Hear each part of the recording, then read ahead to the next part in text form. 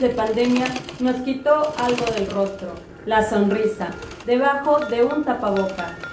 El distanciamiento social nos llevó a usar algo tan simple y de vital importancia, las mascarillas.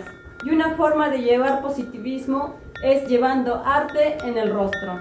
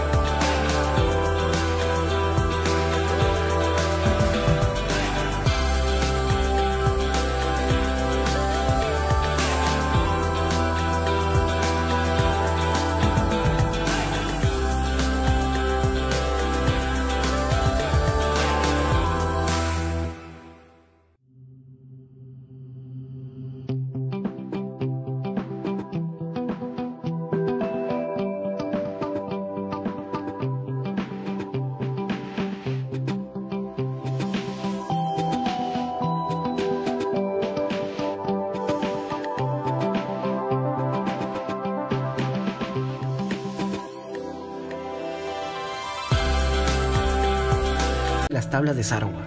Una tabla de sarwa original eh, mide 2-3 metros de largo hasta 4 sobre troncos silvestres. Lo que va dibujado sobre la tabla es la genealogía de una familia que la va a recibir como obsequio. Esta tabla se obsequia durante el techado de una casa. Se suele colocar en la viga principal del nuevo hogar y se celebra con fiesta, banda de música y chicha. ¿Qué contiene una tabla de sarwa? La lectura es de abajo hacia arriba, va primero la dedicatoria, luego continúa la patrona de la comunidad que es la Virgen Asunción, los dueños de la casa, familia cercana y termina en la parte superior con familia lejana y el Inti Sol. Inti Sol y Virgen Asunción protegen a la familia y esta tabla se regala en una ceremonia que se llama tabla paikui, que en castellano significa entrega de tabla. Pero ahora que estamos en tiempos de cuidado del medio ambiente, las tablas se hacen con madera reciclada y con pintura natural. Es decir, su arte se basa en la identidad cultural, la sostenibilidad y la igualdad de oportunidades. Este, por ejemplo, es una caja de frutas que yo le he hecho un tratamiento especial y sobre ella he trabajado.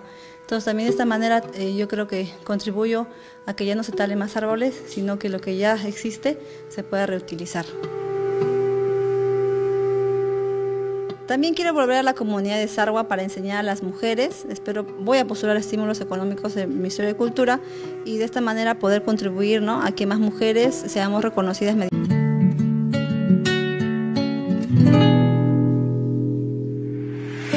Primero, cortamos los moldes de la tela, que miden 19 centímetros de alto y 19 centímetros de ancho. Deben tener esta forma para que cubran nariz y boca. Después hacemos los dibujos a mano.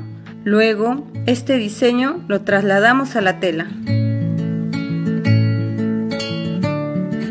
Nuestras mascarillas son anatómicas y usamos doble tela de drill, 100% de algodón y un forro de popelina. Estas mascarillas son lavables y reutilizables. En total son tres capas, tal como exige el Ministerio de Salud. Usamos colores vivos y pintamos a mano. La pintura que usamos es no tóxica y especial para el uso de prendas de vestir. Los colores que predominan en el arte de Sarwa son el blanco, el rojo, el amarillo, el turquesa. Cuando ya tenemos las piezas, hacemos el empalme y le damos forma a las mascarillas. Las cosemos y les colocamos los elásticos para las orejas. Apostamos por utilizar mensajes positivos en las mascarillas. También mi propuesta sobre el empoderamiento y la fortaleza de la mujer. Una vez listas, las desinfectamos. Las remojamos por una hora en una solución de detergente y lejía. Desde que comenzamos a producir las mascarillas, hemos tenido una respuesta muy positiva de las personas. Estas mascarillas cumplen con todas las especificaciones técnicas del MINSA.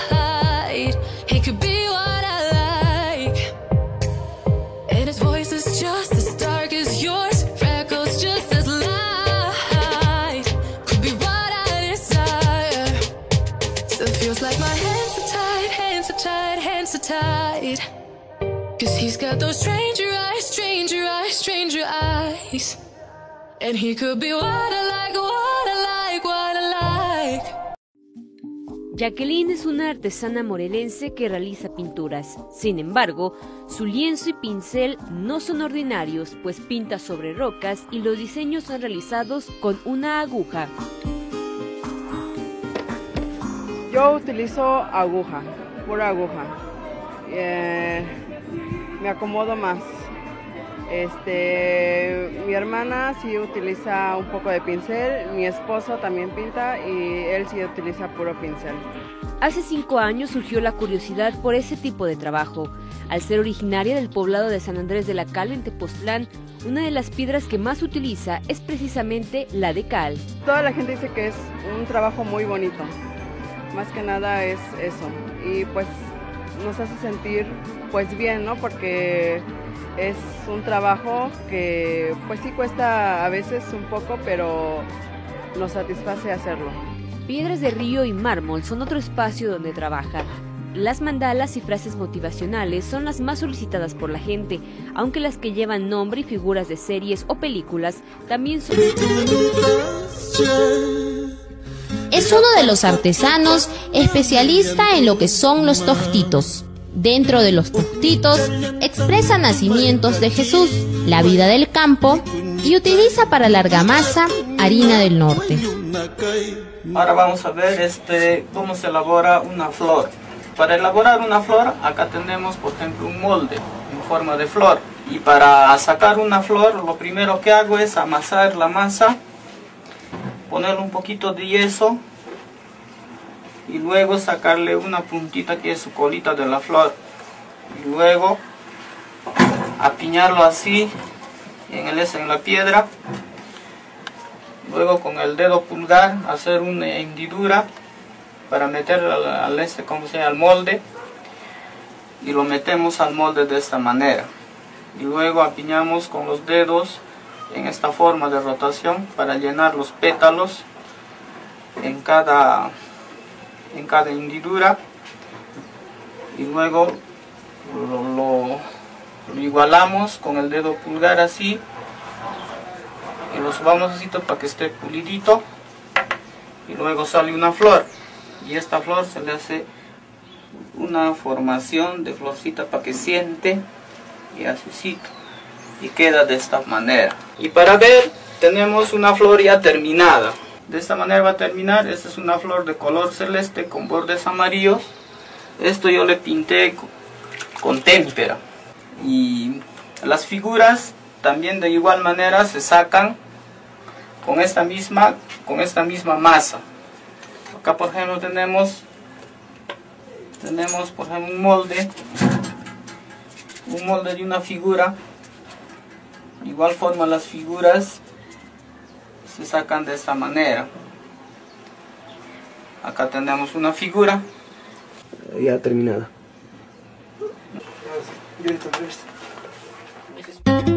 Julián de la Cruz es quien rompe con el tradicional acabado de los retablos, empleando el color azul en reemplazo del rojo en el pintado de las iconografías. Los trabajos son de igual manera únicos y los acabados quedan de este modo.